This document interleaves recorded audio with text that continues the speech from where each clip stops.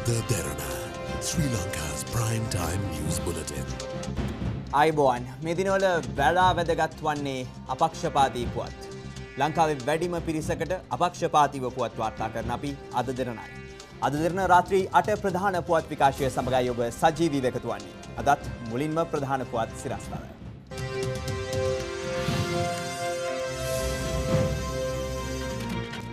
කොළඹ වරාය තවත් පුළුල් වෙයි. ලංකා සිතියමේ හැඩයක් වෙනස් වීමේ වරායත් එක්ක. රතු පස්වල ගැටලුව මානව හිමිකම් කොමිසමට. වාස් කප්පම් ඉල්ලූ බවට හෙළිදරව්වා. විස්සයි විස්ස ශූරතාව දකුණු අප්‍රිකාව ගෙනයයි.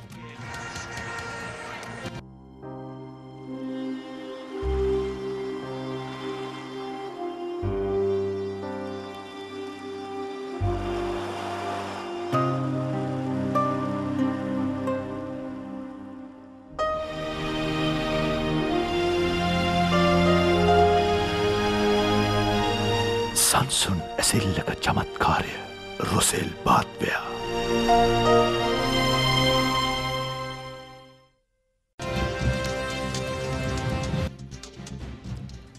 ශ්‍රී ලංකාවේ ආර්ථික වර්ධනයේ නිම් බලලු පුළුල් කරමින් කොළඹ දකුණ වරායේ නව දියකඩනය සහ පළමු පර්යන්තය අද ජනාධිපති මහින්ද රාජපක්ෂ මහතාතින් විවෘත කෙරුණා.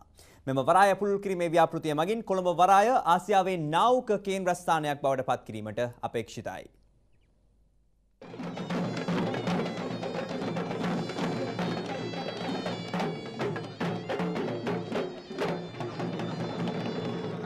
ජනාධිපති මහින්ද රාජපක්ෂ මහතා අතින් අද උදෑසන ජනතා අයිතියට පත්කිරුණු කොළඹ වරාය නවදිය කඩනය සහ පර්යන්තය ඉදිකරනු ලැබුවේ ආසියානු සංවර්ධන බැංකුවේ මූල්‍යාධාර යටතේ අමරිකානු ඩොලර් මිලියන හාරසියක් වැය කරමින්. මහ මුහුද ගොඩකර ඉදිකරන ලද නවදිය කඩනය දිගින් කිලෝමීටර හයයි දශම අටක් වන අතර එය මීටර දහ අටක ගැඹුරින් යුක්ත වනවා. එමගින් ලොව විශාලතම නෞකා පවා හැසිරවීමේ හැකියාව පවතිනවා. එ අනුව මෙතෙක් කොළඹ වරායට පැමිණි බහලුම් හයදහසේ සිට හත්දහස දක්වා ගෙනයා හැකි නෞකාවන් වෙනුවට බහලුම් පහළොස් දහසේ සිට විසි පන්දහස දක්වා ගෙනයා හැකි විශාල නෞකාවන්ද මෙහෙවීමේ හැකියාව කොළඹ වරාය සතුවනවා. ප්‍රතිඅපනයනය වරායක් ලෙස ක්‍රියාත්මක කොළඹ වරායේ නව ව්‍යාපෘතිය මගින් ඍජු හා වක්‍ර රැකියා අවස්ථා විසි පන්දහසක් පමණ නිර්මාණය වන බවයි ශ්‍රී ලංකා වරාය අධිකාරිය පෙන්වා දෙන්නේ. මේ මහා පරිමාණ ආයෝජන කෙටිකාලීන ප්‍රතිලාභ අපේක්ෂාවෙන් කරන ව්‍යාපෘති නෙමෙයි.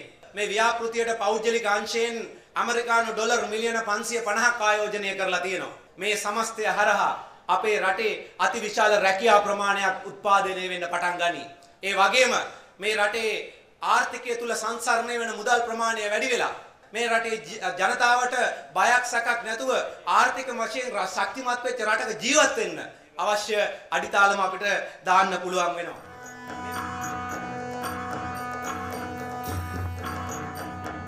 දෙදහස් එකොළහ වර්ෂය ආරම්භ කරන ලද කොළඹ වරාය සංවර්ධන ව්‍යාපෘතිය දෙදහස් දාසය වසරේදී නිම කිරීමට අපේක්ෂිතයි. ලංකා සිතියමේ හැඩයක් වෙනස් වීමේ වරායත් එක්ක. අක්කර 500ක අලුත් භූමි භාගයක් ඇති වෙනවා මෙතන. කොළඹ නගරයේ ඒ වැඩ කටයුතු තා ටික දවසකින් ඇති වේවි. මේ වගේ දැවැන්ත සංවර්ධනය ජාතියට උරුම කර දුන්නේ නැත්නම් රටක් වශයෙන් අපිට ගොඩනගන්න බෑ.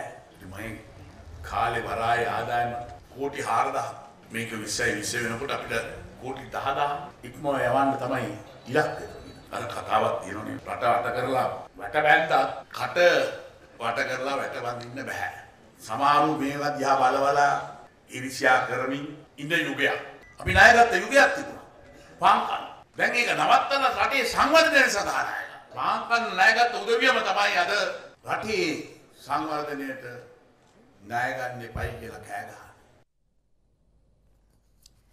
වේ ප්‍රෝටීන් අධිසාන්ද්‍රණය තුළ ක්ලෝස්ට්‍රෝඩියම් බොටලිනම් බැක්ටීරියාව ඇතුළත්ව ඇතැයි වාර්තා වී ඇති බැවින් ශ්‍රී ලංකාවට ආනයනය කරන වේ ප්‍රෝටීන් අධිසාන්ද්‍රණය සහ ඒවා ඇතුළත්ව ඇතැයි සැක කෙරෙන කිරි නිෂ්පාදන වරායෙන් නිදහස් කිරීම තාවකාලිකවත් හිටීමට සෞඛ්‍ය සේවා අධ්‍යක්ෂ ජනරාල්වරයා තීරණය කර තිබෙනවා.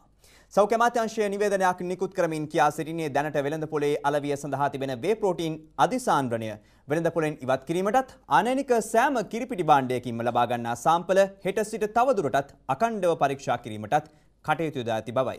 ලංකාවේ දැනට භාවිතාවන ලදරු කිරිපිටිවල වේ ප්‍රෝටීන් අධිසාන්ද්‍රණයක් අන්තර්ගත නොවන බව තහවුරු වී ඇතත් ආරක්ෂිත පියවරක් ලෙස ලදරු කිරිපිටි සාම්පල්ද පරීක්ෂාවට ලක් කිරීමට උපදෙස් දුන් බව සෞඛ්‍ය අමාත්‍යාංශය පවසනවා.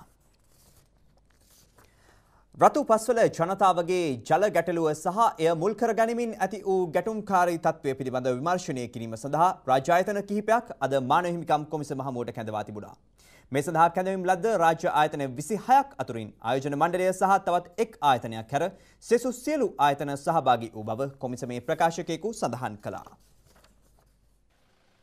රතුපස්වල ප්‍රදේශයේ ජලය අපවිත්‍රීමට බලපෑ කරුණු සොයා බැලීමත් ඒ සම්බන්ධව ඇති වූ ගැටුමේදී රාජ්‍ය ආයතන ක්‍රියා කළ ආකාරය මෙන්ම ඉදිරියේදී මෙවැනි තත්ත්වයන් වළක්වා ගැනීමට ක්‍රියා කළ යුතු ආකාරය විමර්ශනය කිරීමත් එම සිදුවීමේදී නිලධාරීන් හෝ ආයතන තම සීමාව ඉක්මවා ක්‍රියා කර ඇද්ද යන විමර්ශනය කිරීමත් මෙහි අරමුණ වුණා. ශ්‍රී ලංකා පොලිසිය යුද හමුදාව ඇතුළු රාජ්‍ය ආයතන රැසක නිලධාරීන් මේ සඳහා සහභාගී වී සිටියා. ආරක්ෂකලයන්තුමා පැහැදිලි වාර්තාවක් දුන්නා මේ කර්මාන්ත ශාලාවේ ක්‍රියාදාමය හේතු කොටගෙනද මේ ලිංවල ජලය අපිරිසුදුලා තියෙන්නේ. ඒ ගැන මූලික හොයන්න ඕනේ. ඒක හොයනකන් තමයි කර්මාන්තශාලා తాවකාලිකව වැහුවේ. මේ මෙතන කරු සභාපතිතුමා කතා කරලා කිව්වේ වාර්තා හැකින් ලබන මේ කරුණ निराකරණය කරන්න. ඒ වාර්තාවල සියල්ල කිව්වොත් මේ ලිං වල ජලය අපිරිසුදු වෙන්න මූලික හේතුව මේ කර්මාන්තශාලාව කිව්වොත් එතකොට තීරණයක් ගනී. මානව හිමිකම් කොමිසමේ නිලධාරීන් ඉන්පසු මාධ්‍ය හමුවක් පැවැත්තුවා. මෙහිදී ඇතිවුණු ක්‍රියාකාරීත්වය ගැන පොලිස්පතිවරයට කිව්වා වාර්තාවක් ඉදපත් කරන්න කියලා. හමුදා පරීක්ෂණ මණ්ඩලයේ වාර්තාවත් සති දෙකක්ව ඉදිරිපත් කරන්නේ කියලා. ඊට අමතරව කොමිසම සභාව බලාපොරොත්තු වෙනවා ඉදිරියේදී මේ සම්බන්ධයෙන් සිවිල් සංවිධානත් ඒ ප්‍රදේශීය ක්‍රමදියත් තුණු ඒ වගේම පූජ්‍ය පක්ෂයත් වෙනත් සම්බන්ධ ජනතාවට කැඳවලා ඔවුන්ගෙනුත් තොරතුරු ලබා ගන්නත් වැලිවැරිය සිද්ධිය අතරතුර ජනමාධ්‍යවේදීන්ටද ප්‍රහාර එල්ල වූ බවට ජනමාධ්‍ය වෘත්තීය සංගම් චෝදනා කරනවා.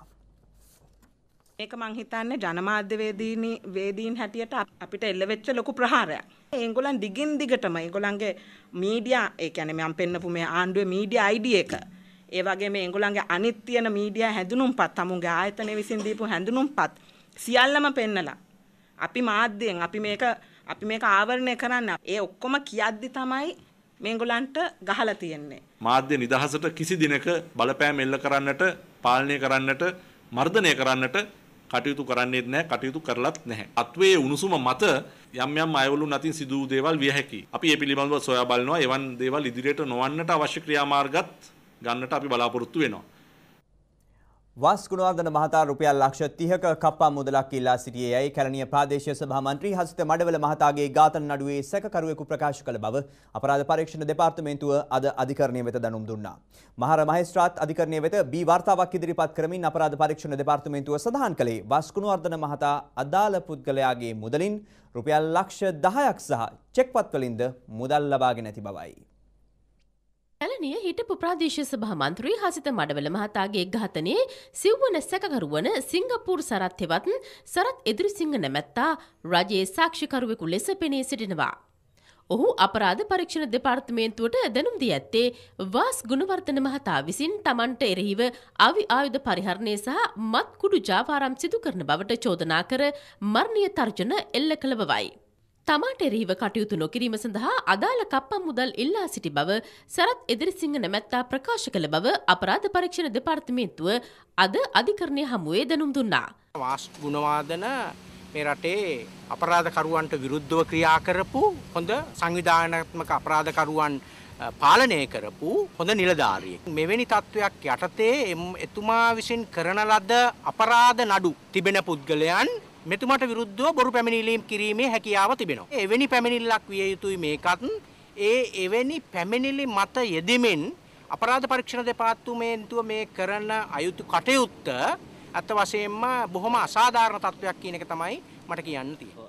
කරුණු සියල්ල සලකා බැලූ මහර ප්‍රධාන මහේස්ත්‍රාත් දර්ශිකා විමලසිරි මෙනවිය නඩු විභාගය ලබන දහ නමවැනි දිනට කල්තබීමට නියෝග කළා. හිටපු විදේශ අමාත්‍ය ලක්ෂ්මන් කදිර්ගාමර් මහතාගේ පුත් HCP කදිර්ගාමර් මහතා තම පියාට අයත්ව තිබූ ඉඩම් රජය මගින් පවරා ගැනීමට එරෙහිව අභ්‍යාචනාධිකරණය හමුවේ පෙත්සමක් ගොනු කර තිබෙනවා. පෙත්සමෙන් දක්වා ඇත්තේ තමන්ට උරුම යාපනයේ ඇති ඉඩම් මහජන කටයුත්තක් සඳහා රජය මගින් අත්පත් කර ගැනීමට සූදානම් වන බවයි. ඒ වලක්වාලමින් මැඩා මුස්සාඥාවක් නිකුත් කරන ලෙසද පෙත්සමෙන් ඉල්ලීමක් කර තිබෙනවා. පංච පුද්ගල විනිසුරු මඩුල්ලක් හමුවේ අද පෙත්සම කැඳවූ අතර ඉඩම් හා ඉඩම් සංවර්ධන අමාත්‍ය ජනක බණ්ඩාර තෙන්නකෝන් මහතා ඇතුළු වගඋත්තරකරුවන්ට අගොසු 27 වන දින අභ්‍යාචන අධිකරණය හමුවේ පෙනී සිටින ලෙස නොතීසී නිකුත් කර තිබෙනවා. මෙවන විටත් වඩාත්ම දේශපාලන වේදිකාවේ කතාබහට ලක්වන්නේ ආණ්ඩුවට පැන්න තෑසිරි ජයසේකර මන්ත්‍රීවරයා. ඒ සම්බන්ධයෙන් තොරතුරු මේ විරාමෙන් අනතුරුව දකිමු. TV දෙරණින් තවත් විප්ලවීය හඳුන්වාදීම. ශ්‍රී ලංකාවේ මුල්වරට නිර්මාණය කළ Android TV ඇප් එක. දිනපතා ටෙලිනාට්‍ය මියසික් වීඩියෝ ඇතුළු ඔබේ ප්‍රියතම වැඩසටහන් දැන් පහසුවෙන් නරඹන්න. දෙරන ඇප් එක ඩවන්ලෝඩ් කර ගැනීම සඳහා දැන්ම Google Play වෙත පිවිසෙන්න. Discover a secret of the most luxurious kind. A secret that pampers you with the freshest, juiciest extracts from nature and the finest French ingredients. World class natural beauty care. Sari, it's a secret. ඔබ ඇලිත් අද දෙරන සමගයි. දෑසිරි ජයසේකරගේ පක්ෂ මාරුව අන්ඩුවට විපක්ෂයෙන් පිරිස් එක්වීම ආදී සිද්ධි පිළිබඳව මේ දිනවල දේශපාලන වේදිකාවේ විවිධ අදහස් පළ වෙනවා. මේ ඒ අතරින් කිහිපයක්. දෑසිරි මේ පාවාදීම කරේ අදෙයිය නෙමෙයි අවුරුදු එකමාරකට ඉස්සෙල්ලා.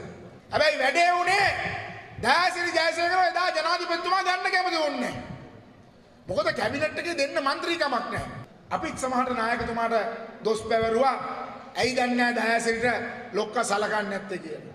ඒක අද අපිට හිතෙනවා ලොක්ක හදාගත්තේ ඉතාමත්ම බුද්ධිමත් තීන්දුවක්. මොකද ලොක්ක දැනගෙන හිටියා දෑසිරි අනිවාර්යෙන් යනවා කියලා. නෑ ගෝල් බාල දෙන්න තුන් දෙනෙකුට දීලා දීලා කොන්ත්‍රාත්තුවක් දෑසිරි දෑසේකට මන ගහනවා. මේ කොන්ත්‍රාත්තු බාරන් තියෙනවා. ඊයේ පෙරේද දේශපාලනේ පටන් ගත්ත හරින් පාන්දු වගේ වාචාලකමට කතා කරන අය. ඒ සමහර අය කලබල වෙලා දයාසිරි ගියා. කොච්චර සිරීලා ගියාද? පස්සෙට මුකුත් වෙන්නේ නැහැ. බණ්ඩාරනායක මහත්තයා හදලා දුන්නේ එක්සත් ජාතික පක්ෂේ. ඒ ප්‍රොඩක්ට් එක හදලා සමාජගත කරේ යුනයිටඩ් නැෂනල් පාර්ටි. දැන් ජනාධිපතිතුමා මේ දවස්වල දොර වහලා තියෙන්නේ. අපි දන්නවා දැන්ටමත් හතර දෙනෙක් සාකච්ඡා කරලා බලාපොරොත්තුෙන් ඉන්නව එකතුවේ. ඒ පිළිපස්සේ තවත් පිරිසක් ඉන්නවා. නමුත් ජනාධිපතිතුමා මං හිතන්නේ තීන්දුව කරන්නේ නැති විපක්ෂයකුත් මේ රටේ තියෙන්න ඕන. ඒ නිසා දැන් ගත්ත ඇති කියලා. මගේ නම් ආත්මන්තු පරම්පරාවකටයි ඡන්දිල්ලා ඉන්න ඉල්ලන්න මම දෙන්නේ නැහැ. මට නම් ඇත්ති වෙලා තියෙන්නේ. මගෙත් ඔය එක එකනා කිව්වා එන්න නැත්තම් දුව හරි දාන්න පුතා හරි දාන්න කියලා දාලා මේ මේ මගුල කරන්න බෑනේ. මේක ගියපුවම පංගුවක් කියලාවට පපුව පලාගෙන මැරෙන්න හිතන වෙලාවල් තියෙනවා. මේ ගන්න තීන්දුව. මෙතර දෑසිරි ජයසේකර මහතා අද දෙරන තුන්සිය හැට සජීවී සංවාදයට රාත්‍රියය සම්බන්ධ වෙනවා. ඔබටත් රාත්‍රී නමේ තිහේ සිට බිඳුවයි එකයි එකයි හතයි තිස්තුනයි හැත්ත දෙකයි හැට දෙක දුරකතනංකය ඔස්සේ තුන්සිය හැට වැඩසටහන සමඟ සජීවීව සම්බන්ධ විය හැකි. මෙතර බුදුබල සේනා සංවිධානයේ ප්‍රධාන ලේකම් පූජ්‍ය ගලගොඩත්තේ ඥානසාර ස්වාමීන් වහන්සේ පසුගියදා කළ ප්‍රකාශයකට ඩිලාන් පෙරේරා අමාත්‍යවරයා අද ප්‍රතිචාර දැක්වුවා. ගෑනුත් නොවන පිරිමිත් නොවන කාන්තා නේවාසිකා ගාරවල මුරකාර රස්සාාවට ගැලපෙන එවුන් එවන්න එපා හත්තිලාව පාර්ලිමේන්තුවට. ආං එහෙම එකෙක් ඉන්නවා බදුල්ලේ. තමුන් නාසලගේ චන්දෙන් තමයි වූ වැඩිපුර පාර්ලිමේන්තුවට යන්නේ. අර ඩිලාන් පෙරේරා නැමති වල් සත. ඊය පෙරේද හාලියල පල්ලියකට ගිහිල්ලා මේ කාලකන්නි වල් ඇමතිය කියනවලු. බොදු බලසේන ආරවා මේවා මේ ජාතිවාදී සංවිධාන. අපි නිකම් ප්‍රභාකරන්ට වඩා භයානකයිලු. හාලියලට આવොත් අපි බලා එනවා තමයි යකු. අනිවාර්යෙන් හාලියලට නම්. උඹ මොන නරියෙක්ද LTT ප්‍රභාකරන්ටවත් යකෝ බය වෙච්ච නැති අපිට උඹ මොන නරියෙක්ද උඹ හාල් මැස්සෙක්. පිලාට පිස්සු ඇයි මොන පිස්සු කියන්නේ? නෑ බලන්නකෝ මේ බෞද්ධ හින්දු ඉස්කෝලන මේ මුස්ලිම් අයට ආගමික වතාවක් කරනවා බෞද්ධ හින්දු මුස්ලිම් ක්‍රිස්තියානි හින්දු අය එකතු කරගෙන පිස්සෙක් නම්. ඔව් මම පිස්සෙක්. ඔව් මම පිස්සෙක් මට ඒ පිස්සුකම හොඳයි. තව ආගයක් ආගමක් පාගගෙන තව ජාතියක් පාගගෙන කතා කරන වීරකමට හොඳ වඩා. ඒ පිස්සුකම මට හොඳයි. ඔය බොරු චණ්ඩි ඔය ජාතිවාදී චණ්ඩි පාට දැම්මට උන් ඇත්තට චණ්ඩිලේ උන් චාගුල්ලි දරණිකල නූරී වතුයායේ වතු අධිකාරීවරයාගේ ඝාතන සිද්ධියට අදාළ නඩුව අද යළිත් අවිස්සාවෙල්ල මහේස්ත්‍රාත් අධිකරණයේ විභාගයට ගෙනුණා. සාක්ෂි විමසීමෙන් අනතුරුව මෙම නඩුව ලබන 19 වෙනිදා දක්වා කල් තබන ලෙස අධිකරණයෙන් නියෝග කළා. නඩු විභාගය කැඳපු අවස්ථාවේ සැකකරුවන් විසි දෙදෙනෙකු අවිස්සාවෙල්ල මහිස්ත්‍රාත් අධිකරණයට ඉදිරිපත් කරනු අතර ඉන් එක් සැකකරුවෙකු නිදහස් කර තිබෙනවා. එහිදී අවිස්සාවෙල්ල මහිස්ත්‍රාත් ධනුෂ්ක සෙනවිරත්න මහතා සඳහන් කළේ යළි නඩුව විභාග කරන තුරු අනෙක් සැකකරුවන් විසි එක් දෙනා කුරුවිට රක්ෂිත බන්ධනාගාරයට යවන ලෙසයි. මේ අතර දැරණියගල නූරී වතුයායේ පසුගියදා ඝාතන සිද්ධියත් සමග ජනතාවට මුහුණ දීමට සිදු වූ ගැටලුකාරී තත්ත්වය සම්බන්ධයෙන් සාකච්ඡා කරමින් පැමිණිලි ඉදිරිපත් කිරීම සඳහා විශේෂ රැස්වීමක් ඊයේ නූරී දෙමළ විද්‍යාල පරිශ්‍රයේදී පැවැත්වුණා. මෙම සාකච්ඡාව සඳහා ජේෂ්ඨ නියෝජ්‍ය පොලිස්පති ගාමිණී නවරත්න මහතා විදුලි සංදේශ හා තොරතුරු තාක්ෂණ අමාත්‍ය රංජිත් සියඹලපිටිය මහතා දොඩාවත්ත විහාරස්ථානයේ විහාරාධිපති හිමියන් ඇතුළු පිරිසක්ද දැරණියගල නූරී වතුයායේ ජනතාවද එක්ව සිටියා. අත කොටක්ගෙන මැරයා මගේ අම්මගේ ඇතුළින් දැදිගිනි තිබ්බේ අනේ දරුවනේ උඹලටත් අම්මලා ඉන්නවා මගේ අම්මා එළියට අරන් දාපන් දරුවනේ කියලා හඬා වැළපෙද්දී මෙට්ටෙන් හතර කොණෙන් අල්ලලා එළියට බිමට හලලා මෙට්ටේ ගේ ඇතුළට දාලා සිවිලිමට ගෙනි ගන්න තුරු මේ අමිල කියන මැරයා බෝම්බයක් අරගෙන දොරකඩින් ගේ ඇතුළට එබිලා බලාගෙන ඉඳලා තිබුණා. කියන්න කනගාටුයි කැගල්ලේ අපරාධ විමර්ශනකින් ආවා.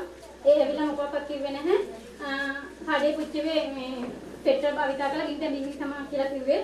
දේශපාලන බලය තියෙන හින්දා කිසිම දෙයක් කරන්න බැහැ කිව්වා. අපි ඇත්තම කනගාටු වෙනවා මේ තත්ත්වය පිළිබඳව.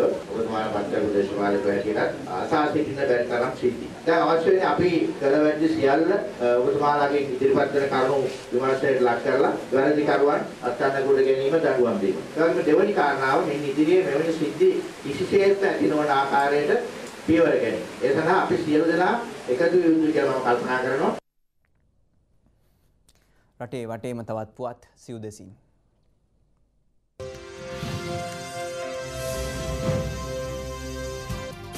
අධ්‍යයන පොත්සාතික පත්‍ර උසස් පෙළ විභාගය අදාරම්භ වුණා. මෙවර විභාගේ දිවෙන පුරා මධ්‍යස්ථාන දෙදහස් එකසිය හැට හතරකදී පැවැත්වෙනවා. හම්බන්තුර මහනගර සභාවේ උපනගරාධිපතිවරයාගේ පුත්‍රයාට ඊරාත්‍රයේ කිසියම් පිරිසක් විසින් පහරදී ඇති අතර ඔහු මේ වන විට හම්පන්තුර මහරෝහලේ ප්‍රතිකාර ලබමින් සිටිනවා. තංගල්ල පහජ්‍යාව ප්‍රදේශයේදී ඊයේ පස්වරුවේ ත්‍රිරෝධ රථයක් සහ බස් රථයක් එකිනෙක ගැටීමෙන් සිදු අන්තුරකින් අවුරුදු එකහමාරක් වයසති බිලින්දියක් ඇතුළු තිදෙනෙක් ජීවිතක්ෂයට පත් වුණා. CIC ශූරගොවයා සිව්වන අස්වැන්නේ අභිෂේක මංගල්ලේ දෙවනේ දෙවන ස්ථානය හිමිකරගත් වසන්තලාල් ප්‍රේමරත්න මහතා කුරුණෑගල ගලේවෙල ඔහුගේ ගම් ප්‍රදේශයේදී මහත් හරිසරින් පිළිගනු ලැබුවා. ලබන හත්වෙන දින කතරගම පැවැත්වෙන ඇසල මංගල්ලයට උතුරු නැගෙනහිර සිට පාදවන්දනාවෙන් පැමිණි බැතිමතුන් ඊයේ කතරගම පුරවරයට ළඟා වුණා. ශ්‍රී ලංකාව තුළ අලවේ තහනම් අධික සැරෙන් යුතු මත්පැන් තොගයක් බතරමුල්ල සුරාබදු ඒකකයේ විසින් බටලනු ලැබවා. යළෙත් අද දරන.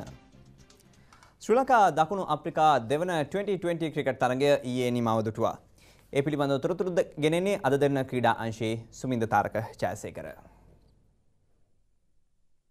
ශ්‍රී ලංකාව සහ දකුණු අප්‍රිකාව අතර පැවැත්වෙන 20යි 20 තරඟාවලිය තවත් එක් තරගයක් ඉතිරිව තිබෙදීම ජය ගන්නට දකුණු අප්‍රිකානු කණ්ඩායම සමත් වුණා. ඒ දෙවන 20යි 20 තරඟෙන් දකුණු අප්‍රිකානු කණ්ඩායම ලකුණු 22ක ජයත් හිමි කර ගැනීමත් සමගයි. තරගේ කාසිය වාසී දිනූ දකුණු අප්‍රිකාරු නායක පාෆ් ඩුෆ්ලිසිස් ප්‍රථමයෙන් පන්දුවට පහරදීමට තීරණය කළා. ඒ අනුව දකුණු අප්‍රිකා පිළ නියමිත පන්දුවාර විස අවසානයේ කඩලු හයක් දැවී ලකුණු එකසිය හතලිස් පහක් රැස්කිරීමට සමත් වුණා. ඒදී නැවතත් වේගවත් ඉනිමක් ක්‍රීඩා කළ ඩේවිඩ් මිල පන්දු විසියකදී හය පාර දෙකක් සහ එක් හතරේ පහරක් සමගින් ලකුණු තිස් හයක් රැස් කළා. නුවන් කුලසේකර සහ සචිත්‍ර සේනානායක කඩලු දෙක බැගින් දබා ගත්තා. ශ්‍රී ලංකාවේ නිත්‍ය ආරම්භක පිතිකරුවා වන තිලකරත්න දිල්ෂාන් ඊයේ තරගෙන් ඉවත් කර තිබූ අතර ශ්‍රී ලංකාව වෙනුවෙන් ඊයේ පිළිතුරු ඉනිම ආරම්භ කළේ මහේල ජයවර්ධන සහ කුසල් පෙරේරායි. එහිදී පළමු විස්සයි විස තරගයේදී මෙන්ම නැවතත් ශ්‍රී ලංකා පිතිකරුවන් අසාර්ථක වුණා. ශ්‍රී ලංකා පිළට නියමිත පන්දුවාර විස අවසානයේ කඩුළු හතක් දැවී රැස්කරගත හැකි වූයේ ලකුණු එකසිය විසිතුනක් පමණයි. ශ්‍රී ලංකාව වෙනුවෙන් කුමා සංගක්කාර ලකුණු තිස් නවයක්ද තිසර පෙරේරා නොදැවී ලකුණු විසි දෙකක්ද රැස් කලා. ඊයේ තරගේ පරාජයත් සමඟ ලෝක විස්සයි විස්ස ශ්‍රේණිගත කිරීම්වල ප්‍රථම ස්ථානය පසුවන ශ්‍රී ලංකාපිල තම මෞරටයේදී පැවැත්වෙන තරඟ තුනකින් සමන්විත පළමු පූර්ණ විසයි විස තරඟාවලිය පරාජයට පත් වුණා. අපි හිතුවෙන්න ඇත් පරාජය කලේ ලකුණු එකසිය හතලිස් පහ මහිතන අපිට ලබාගන්න තිබ්බ අපි හුඟක් හොඳට පන්දියාව මේ තරඟ දෙක හුඟක් හොඳට පන්දු රැක්ක ඉතින් මහිතන්න පිති කරනාංශයේ තිබුණු දුරලතා නිසා තමයි මේ තරඟ දෙක පරාජය වෙන්න හේතුව වුණේ. තැන් මේ තරඟාවලිය පරාජය වෙලා ඉවරයි. කණ්ඩායමක් ඉදියට දැන් ඕනෙලා තියෙන එක තරගයක් පැවැත්වෙන. ඉතින් ඒ තරගේදී අපිට ජයග්‍රහණය අනිවාර්යෙන් ඕන වෙන අපේ කණ්ඩායමේ මානසිකත්වය දියුණු කරගන්න ඉතින් අපි කණ්ඩායමක් ඉදියට අපි හොඳ සංයුතියක් අරගෙන ඊළඟ තරගයට සහභාගි වෙන්න තමයි බලාපොරොත්තු වෙන්නේ. එළඹෙන අඟහරුවාදා මෙම ක්‍රීඩාංගණයේ පැවැත්වෙන ශ්‍රී ලංකා දකුණු අප්‍රිකා තුන්වන 2020 තරගයේ තොරතුරු ඔබ වෙත ගෙනීමේ බලාපොරොත්තුවෙන් මම සමුගන්නවා. සුසන්ත ලාල් ප්‍රේමතිලක වෙනුර කනිෂ්ක සමගින් මම සුමින්ද තාරක ජයසේකර අධ්‍යයන ක්‍රීඩාංශය වෙනුවෙන් සූර්යව මහින්ද රාජපක්ෂ ජාත්‍යන්තර ක්‍රිකට් ක්‍රීඩාංගණයේ සිට මේ අතර සමස් ලංකා අවුරුදු 14න් පහළ බැඩ්මින්ටන් තරගාවලිය ඊයේ නිමවට පත් වුණා. තරගාවලිය පැවැතුනේ ගාල්ල රිච්මන්ඩ් විද්‍යාලයේ. මෙවර තරගාවලිය දින හතරක් පුරා පැවැත්වුණා. ඊට දිවයිනේ පාසල් 62කින් සහභාගී වූ ක්‍රීඩක ක්‍රීඩිකාවන් සංඛ්‍යාව 600ක්. එහිදී තරගාවලියේ බාලක ශුරතාව ගාල්ල රිච්මන්ඩ් විද්‍යාලය පරාජය කළ මාතර රාහුල විද්‍යාලය විසින් හිමි කරගත්තා. බාලිකා ශූරතාවය හිමි කරගත්තේ නුගේගොඩ අනුලා විද්‍යාලය පරාජයට පත් කළ කොළඹ සිරිමාවෝ බණ්ඩාරනායක විද්‍යාලයයි. මෙම තරගාවලිය ශ්‍රී ලංකා පාසල් බැඩ්මින්ටන් සංගමය සංවිධානය කර තිබුණා.